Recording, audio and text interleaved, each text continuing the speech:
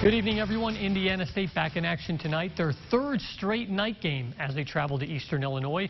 Sycamores looking for their second win of the year. And how about this, rocking the home uniforms on the road.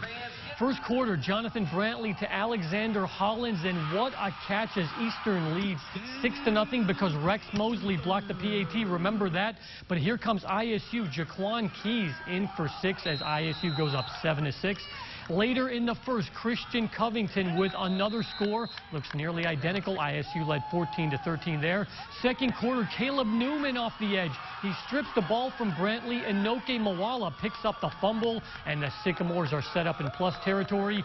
This leads to Jaquan Keys third touchdown of the half, a 20-yarder that made it 31-20. The Panthers try to get the last word of the first half, but Rex Mosley again gets his hand on the kick. A final score in this one, Sycamores win big. Hey, they're back home for Northern Iowa on September 27th.